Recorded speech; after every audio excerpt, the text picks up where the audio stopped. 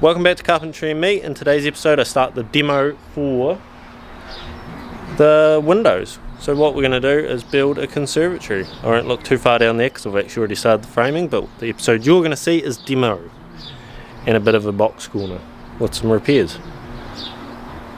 So yeah, thanks for watching and keep watching. There's carpentry coming. There is carpentry coming.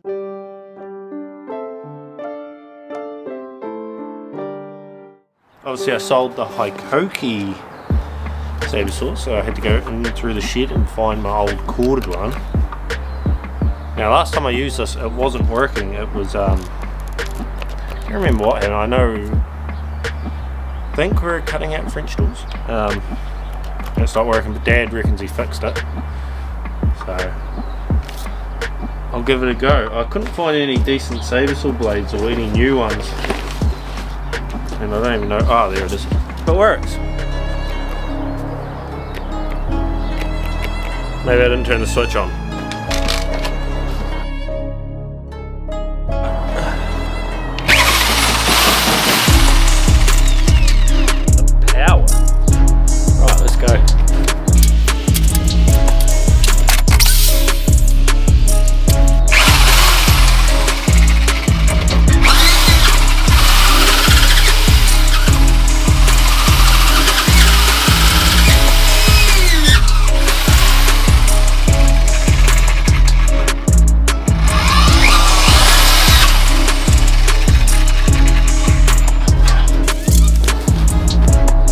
Ryobi.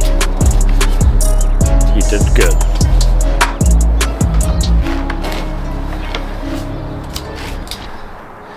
Well, that ruined today's plan. Um, guess I'll pack that up and do something else. But you'll see me with a new saber saw demoing that in the next.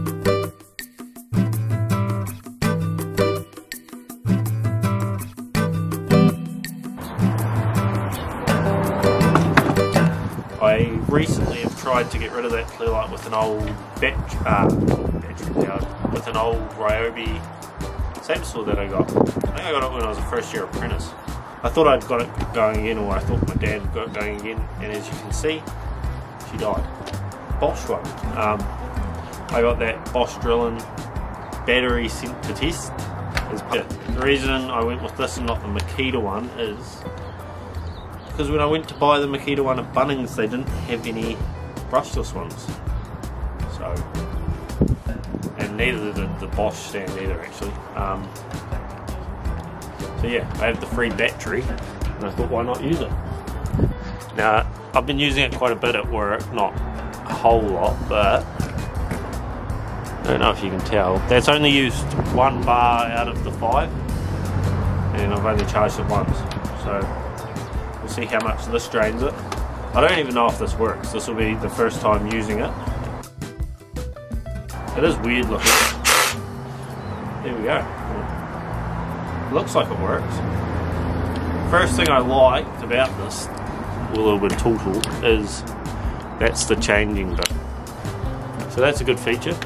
I think that might be the first time I've seen that. It's like a jigsaw. It's pretty cool. So anyway, yeah, we're gonna get the clear light gone in the box corner so I can start putting windows in.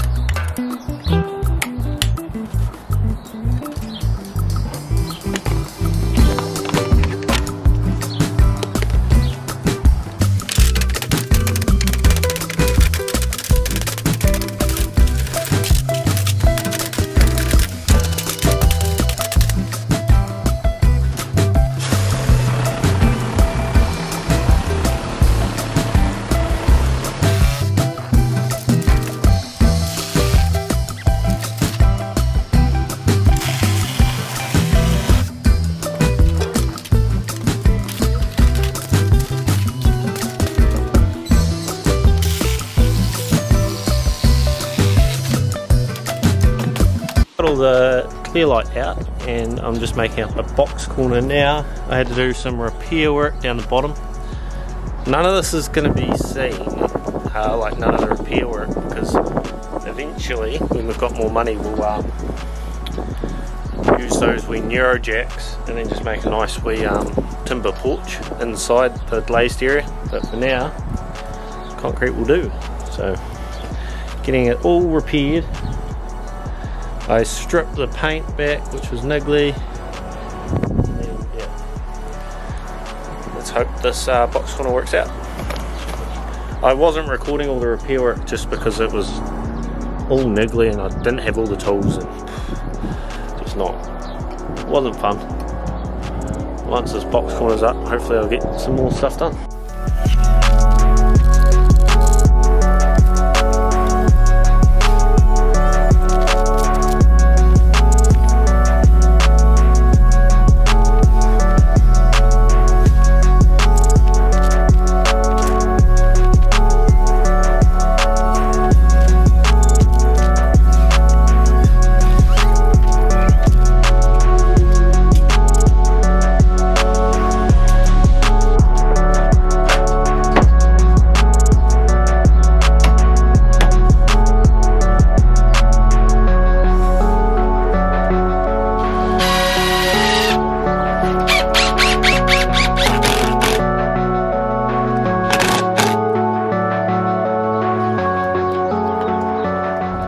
So there we have it, that was the end of the episode. I didn't get back to the light mounts, sort of ran out of time.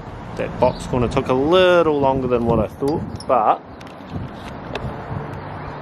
now you can see the open space, it's going to be glass, we'll let a lot more light in. That there is the earth cable, so I'll get my brother around and we'll rerun that. Uh, if you notice, I primed all the boards behind where the box corner is, just to preserve it that little bit more.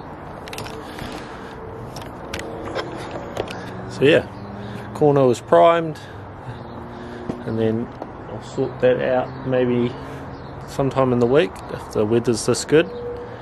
If not, um, see you when I see you. Thanks for watching guys.